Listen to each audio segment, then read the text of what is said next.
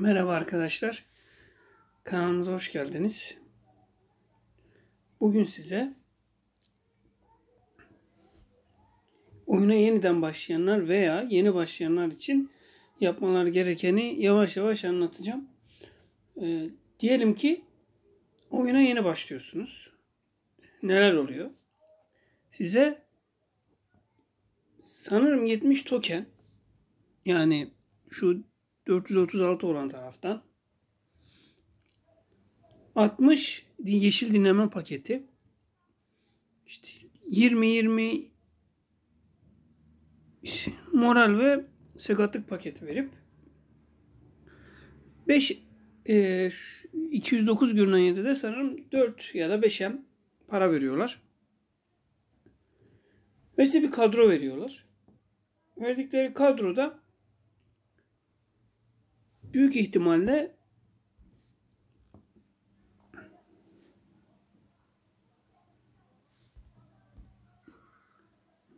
e, bir iki tane böyle e, yaşı 18 olan topçular oluyor. Ondan sonra diğerlerinde minimum bir kadro veriyorlar. Böyle 18'i tam doldurmuyorlar sanırım. Bizim yapmamız gereken en başta İlk madde olarak her sezonun birinci günü başlamak. Eğer yeniden başlıyorsanız ya da yeni başlıyorsanız mesela bugün cuma bu videoyu çekerken tahminim bugün de yollarım zaten. Sizin pazar günü sabahı hatta eğer işte falan yani durabiliyorsanız 5'te falan başlatarak gecenin yani sabahın 5'inde bir takımı kurarsanız size şöyle bir kar olur. Şimdi bize 25 adet her gün 24 saatte bir yeşil paketi verilir. 15 tane de yeşil dışında kullanabileceğiniz paket verilir. Ben bunları genelde maddiyat olarak kullanırım. İlk sezonlarda, ilk 4 sezon.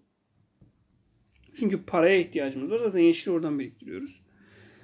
Bir yapmanız gereken o eğer erkenden dediğim gün başlarsanız 25, 28 çarpı 25 olduğu için size 700'e 800'e yakın yeşil dinleme paketi gelir. Yeşil dinleme, yeşil dinleme paketi ne işimize yarar? Yeni başlayanlara söylüyorum. Bilen arkadaşlarımız vardır elbet. Oyuncu geliştirmemize işe geliştirmemize yarar. Bakın yeşil paket böyle böyle verdiğimizde oyuncunun kondisyonu artıyor ve antrenman yaptırıyor. Size ilk olarak burada 3 tane yer verilir. Yani buraya bırak yazan yerden 3 tane olur. Ya 2 ya 3 olur. Zaten antrenman yaptıra yaptıra onu açacaksınız. En yüksek seviye 91'dir. 91'den sonra daha yükselmez. 91'de her şey açık olur ve e, bütün antrenmanlar da dünya seviyesinde olur.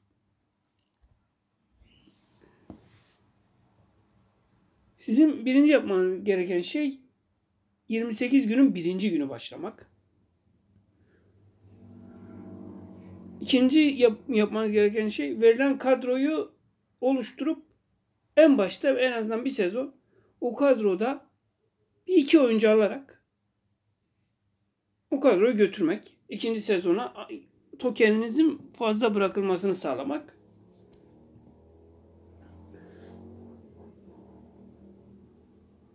Benim birinci videomu izlerseniz ben bu oyunun bir boşluğunu mu bulmuşum ne yapmışım? Ta ilk videom. Bundan 10 ay mı 11 ay mı önce. Orada e, bir sürü oyuncu alabiliyorduk. ikişer tokene. 7-8 oyuncu alabiliyorduk ama artık alınmıyor. Maalesef orayı artık biz mi bulduk boşluğunu? Kendileri mi sonra önce fark ettiler ki ben 10 yıl 10 e, yıldır oynuyorum. Son 2 yıl hariç 8 yıldır vardı. Artık bizim videodan mı göründü? Ne oldu?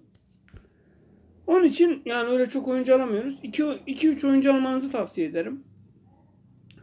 Almanız gereken oyuncular kaleci, iki kanat, bir stoper olabilir. Kaleci, stoper, iki kanat. Ya da tek kanat. Üç oyuncu da alabilirsiniz. 18 yaşında bir oyuncu alırsanız geliştirilmesi daha iyi olur. 3 tane 18 alsanız siz 12 sezon bile takımı götürürsünüz. Bir ana fikirde şu olsun size yana ana düşüncemiz. Ne kadar takımı uçurmazsanız o kadar iyi sizin başa çıkabileceğiniz rakipler gelir. Onun için sezon bittiğinde diğer sezona %20 düşüyor arkadaşlar. Yani şu an benim görünen 115 güç seneye 95 güç olacak ya. Siz 80 ne sezonu tamamlasanız 60'ta başlasanız ve hep öyle yapsanız size gelecek rakipler çok düşük olur ve güzel takımınızı oluşturur. Yeşilinizi, tokeninizi, her şeyinizi oluşturursunuz. Süper bir şekilde götürürsünüz.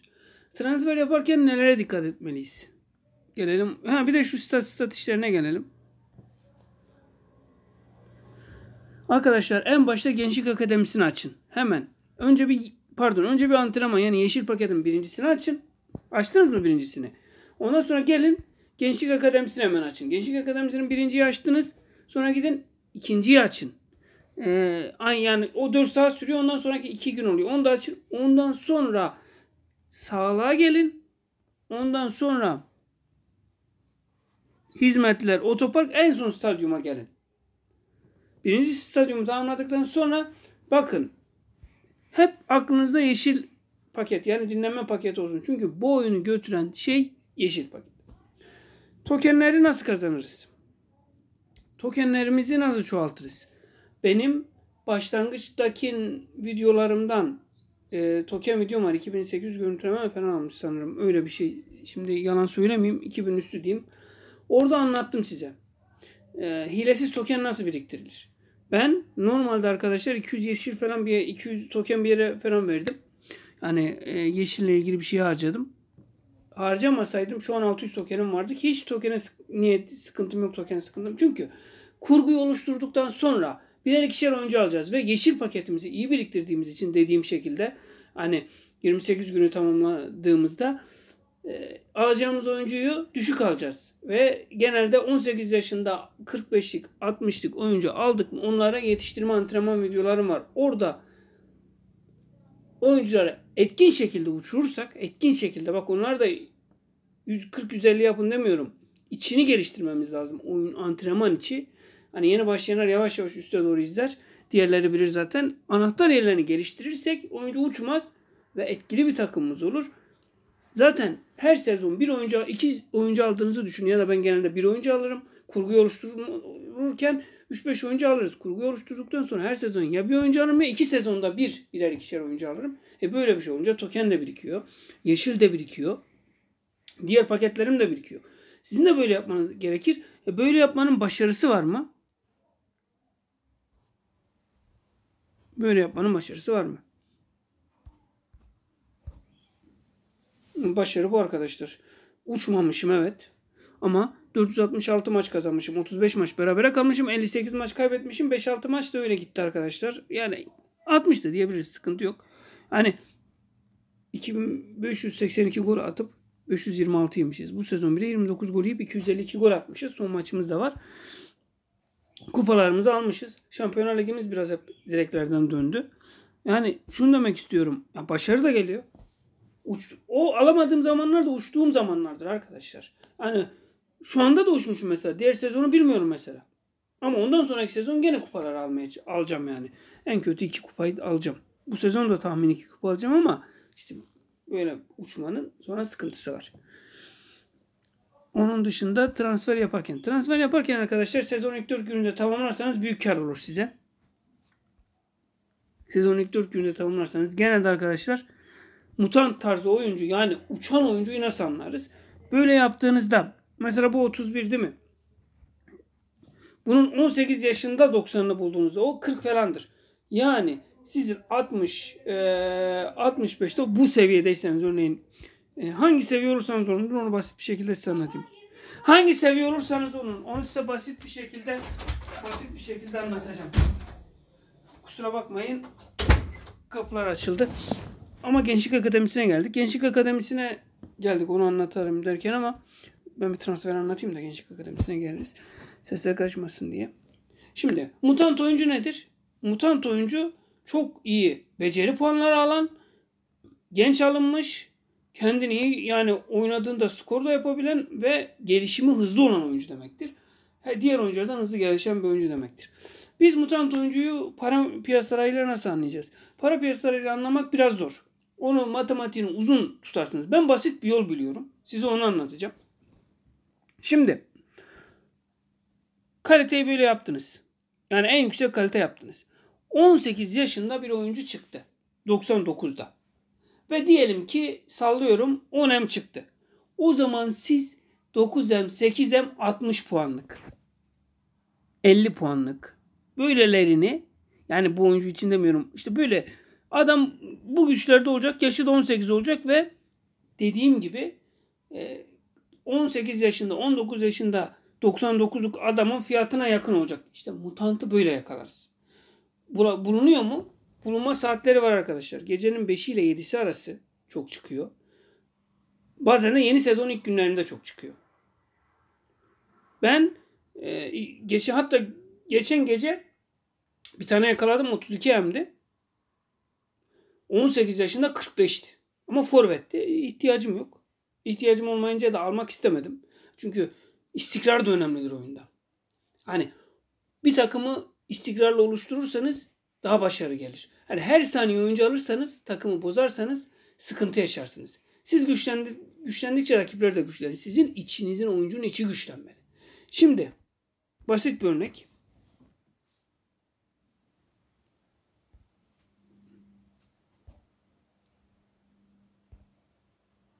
Ferdinand 102 değil mi? Hayır. 163. Yani 8 yıl, yıldızı geçiyor. Önemli olan çünkü bu. Bunu yakalayacaksanız başarılı olursunuz. Bu kupaları e, 160'lık oyuncularla alamazsınız. Çünkü onun rakibine 160 gelir. Yani hiç fark etmez. İşte iş öyle fark yaratmak.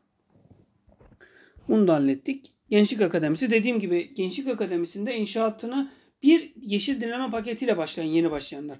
İkinci Gençlik Akademisi sonra ikinci Gençlik Akademisi'ni verin. Ben Gençlik Akademisi'nde dostlarım sezonun ikinci günü başladığımız ikinci gün yani yeni sezona başlıyoruz ya ikinci gününün akşamı ya da isterseniz birinci gününde hangi ülkeden futbolcu istiyorsam ülkelerimi şu iki yerimi burada iki yeri ülkeyi buradaki ülkeyi buradaki ülkeyi o ülkeye çeviriyorum. Ülkenin önemi var mı? Videolarıma bakarsanız görürsünüz ülkelerin çok önemi var. Hani her ülkeden alınan oyuncu kaliteli olmuyor. Mevkilere göre değişim var. Bununla ilgili videolar da çektim. Ondan sonra öyle yaptığınızda o ya o ülkenin gençlik akademisinin topçusu geliyor size. Mesela dikkat ederseniz benim gençlik akademisinde gençlik akademisinde Brezilyalı sanırım dur. Brezilyalı. Evet Brezilyalılar geliyor. Şunu ben işte yeşilim falan buraya gitti bilerek yaptım. Vardı. Dedim ee, Kevin'de bir oyuncu planım vardı arkadaşlarım. Dedim ki Kevin De Bruyne'yi Xavi'nin yerine çekeyim. Maradona'yı 10 numara çekeyim yerinde dursun. Bir tane 10 numara alınsın. Geniş, kadro genişlesin. Çünkü ee, fazla oyuncu almıyoruz. Bir oyuncu gördüğünüz gibi. Diğerlerine gerek yok zaten. Biraz da kadro nefes alır. Onun için öyle yaptım. Arkadaş ekli benim e, arkadaşla ilgili sıkıntılarım oluyor. Çünkü e, Facebook'a falan bağlamadım. Buralarda yeşil beceri paketlerini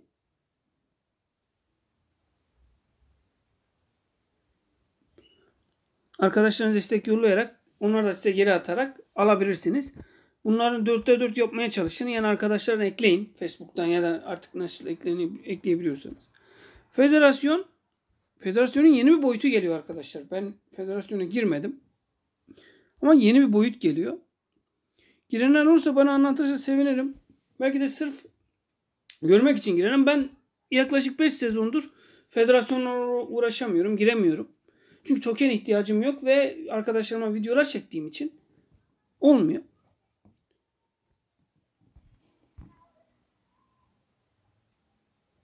Bakalım en son maçta atmıştık. Evet 143 gol 4. Bununla ilgili de video, video yollamıştım zaten. Az gol yemenin videosunu. Ee, başka ne kaldı? Taktiğinizi bak birinci olarak dostlarım taktiklerinizi ilk sezon için yani dediğim gibi başladığınız hemen acele etmeyin. Önce bir takımın kurgusuna bakın. Dediğim gibi bir kaleci, bir stoper, bir kanat alın. Durun. Ondan sonra ee, biraz sesimi yükseltiyorum ki dışarıdakiler video çektiğimi anlasın. Ondan sonra yavaş yavaş e, oyuncuları alırız.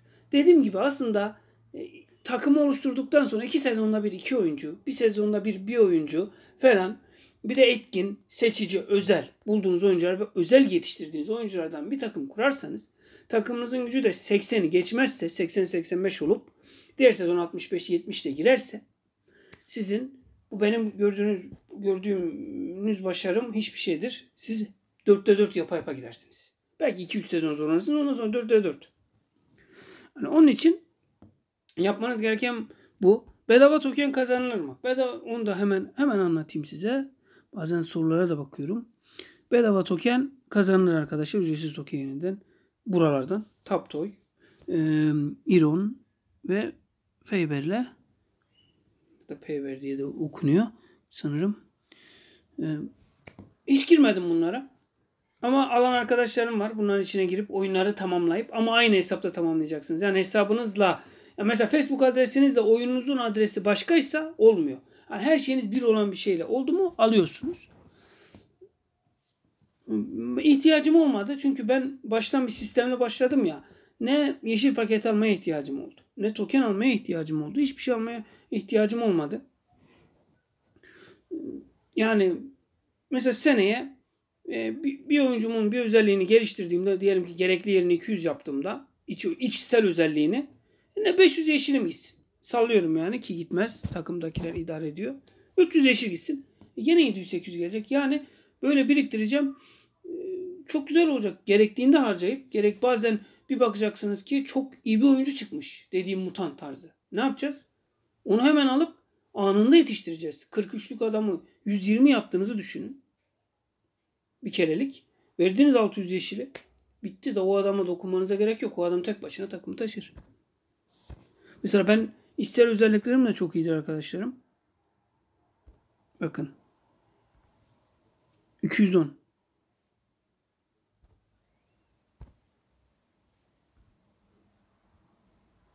221. Bu biraz normaldir belki. Bu da 150 idi. Yani iki kanadım çok etkin. Bunu kendim yeşilsiz oluşturdum. Bunun önemli olan güç ve şut bitiricilik. Yani şut, bitir, şut, bitiricilik ve güç uçurdunuz mu forvetiniz tamamdır. Forvetle ilgili de zaten antrenman videolarım var ki artık yeniden de sıfırdan çekeceğim hepsini yavaş yavaş. Kaleciyi de çekeceğim yakınlarda. Var da bir tane hazırladım onu paylaşırım. Sizin için hazırlamıştım. Ee,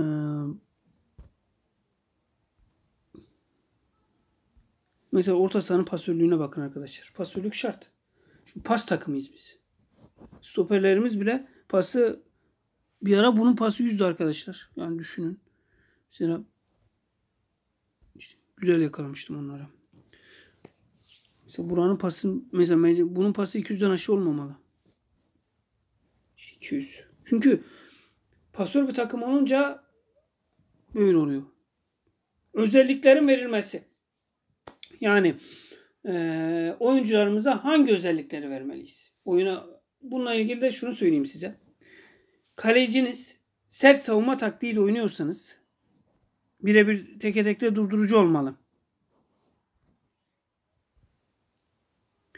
savunmanızdan biri güçlü defans, biri hava topu hakim olmalı.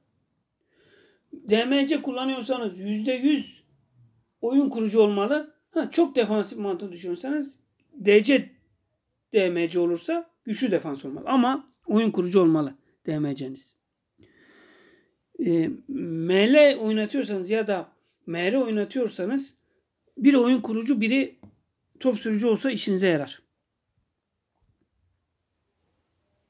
Mesela bu bile kendince attı. 2 MC ile oynuyorsanız bir oyun kurucu bir top sürücü olabilir. Tek MC ile oynuyorsanız bakmayın bunun böyle olduğuna. Oyun kurucu almalısınız. Tek MC ise.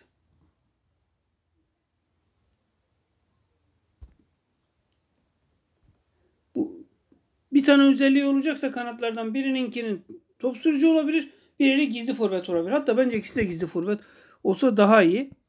Size, siz de diyeceksiniz ki seninki değil. Valla benim de vardı maalesef. Bu, bu korner bedava. Bu korner kendi vardı. Frikiyi de biz ikinci özellikten verildi bize.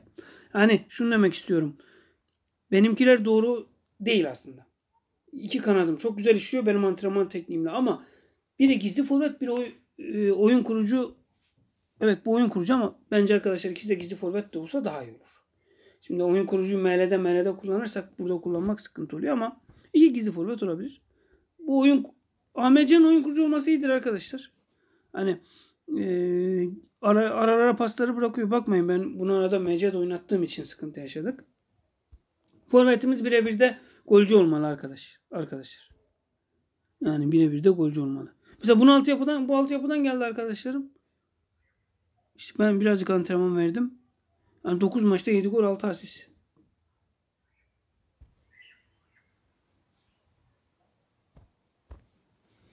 Kalecimizin sert savunmaysa bire teke tekte durdurucu, sert hücumsa penaltı kurtarıcısı olabilir. İşte diğerlerinin özelliklerini size onu da söyledik.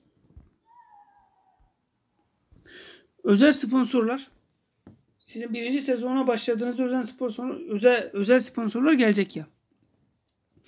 Sizden bir ricam var. Eğer oyunda 4. 5. 6. seviyedeyseniz ya da 3.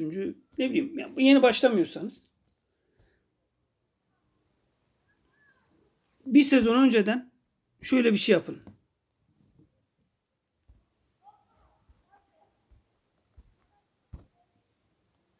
...49'da bıraktım. Çünkü yeni sezonda bana diyecek ki 90 puana e, bir özellik ver. Ben hemen bunu yapıştıracağım. Her sezon bir sonraki sezon için bir tane bırakın böyle. Hemen fazladan 90 puanınız gelir. Haberiniz olsun. Onu da söyleyeyim. Çünkü hep özel yetenek istiyor. Diyor ki bir özel yeteneği tamamlayın herhangi bir oyuncuda. İşte böyle yaparsanız uğraşmanıza gerek kalmaz. Anında tamamlanır. Ee, stat desenleriyle ilgili konuşalım mı? Havalarla ilgili şunu söyleyeyim arkadaşlar. İdeal havada sıkıntı yok. Yağmurlu havada güçlü oyuncuların da etkin olduğunu söyleyebilirim. Güç güç ağır ağır bastığını söyleyebilirim. Ee, soğuk havalar, yağmurlu havalar, soğuk havalarda böyle. Sıcak havalarda kondisyon yüksek olan oyuncuların etkili olduğunu söyleyebilirim.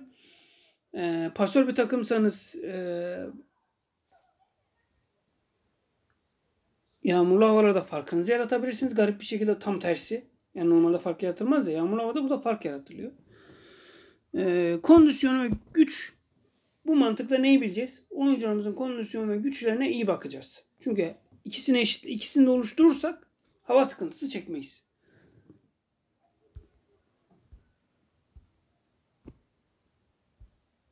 Bunu da hallettik. Başka ne diyebiliriz? Dördüncü, beşinci, altıncı seviyeye geldiğinizde. Yani dördü geçtik. Beş, altıya geldik. Ya da yediye geldik. Bazen böyle oyuncular tutabilirsiniz arkadaşlar. Son bir hafta kala oyuncularınıza teklif gelebilir. 59, 39, 79, 99 genelde siz oynatırsınız, oynatırsınız tutmazsınız. Yani 59, 39, 79 falan tutabilirsiniz. Benim bir tane oyuncum mesela şeye gitti. Ee, 7 tokene gitti. Şimdi bu oyuncumu arkadaşlar ben şimdiden yetiştiriyorum. Buna DC özelliği vereceğim ben. Bunun markajını arttırıyorum arkadaşlar. Markaj. Markaj nasıl arttırırım ben? Şimdi buralardan arttırmak kolay. Bir tane böyle veririz. Ama ben markajı genelde buradan arttırmaya çalışıyorum.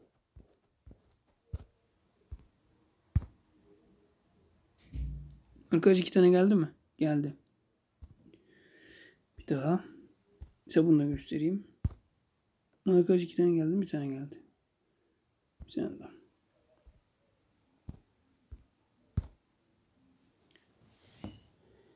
Bazı sorular geliyor. İşte gri e, bu ileri seviyeler için. İşte gri ile beyaz farkı falan. İşte, e, işte grileri düşürmemiz lazım. Evet düşürenlere saygı duyarım. Her zaman da demişimdir. Ama ben şu kafadayım. Benim markajıma e, 250 etmeme sağ benim markaj antrenmanımı 250 edebiliyorsa rahat rahat yeşilimi az harcayarak buralar ne olursa olsun arkadaşlar bana dokunmaz. Çünkü ben markajıma bakarım. Markaj antrenmanıma bakarım. Ben oraya 200 edebiliyorsam ben diye bir tane videom var. Kafa vuruşunu Ferdinand'ın 200'ü geç 200 falan yapmıştım herhalde. E, orta da özelliğinden dolayı almıştı ama şunu demek istiyorum. Umurumda değildi. O adamı o hale getirdim. Ondan sonra kafa golü yemelerim minimuma indi. E, bir yan etkisi olmadı. Kaç kupa aldım onlar sayesinde. Yani Türkçesi ana özelliği ne geliştiriyorsa en az yeşille onu yapmalıyız. Her şeyi anlattık arkadaşlar. Gençlik Akademisi'ni anlattık. Ha, şu 59 falan olayını bir daha söyleyeyim ben. 59'a getirdiniz diyelim. Ya da 39'a ya da 79'a. Tuttunuz. Sen değil arkadaşım. Misugi. Bu da iyi diye efsanemizdi. Tuttunuz. Şimdi bu tutulmaz. Yani bu artık ya bu, bu sezon isterlerse 4-5 tokene verebiliriz. İstemezlerse de kalabilir. Çok da sıkıntı değil. 3 mevkili. Ee, tuttunuz. Ee, öyle, şöyle tuttunuz mesela. Geldi teklif. Arkadaşlar özellikler olduğu için bir de böyle görüyorsunuz pası 163, top sürmesi 151. Bu adam aslında var ya ilk 11'de oynar. Onu söyleyeyim size. Ki herhalde başlarda da şans verdim mi? Evet 4 maçta vermişim. İlk 11'de oynar bu. Yani bu adama mesela teklif geldi mi 4-5 token teklifi hemen satabiliriz. Normalde belli bir şeyden sonra kendimiz satıyoruz. Gerek yok. Bu sınırlara getirip tutun. Teklifler gelecek. Ee, onu da söyledik. Özellikle söyledik. Neyse arkadaşlarım bunlar e, bunu paylaşacağız şimdi. Kendinize çok dikkat edin. Allah'a emanet olun. Ee, yeni videolarda görüşmek üzere.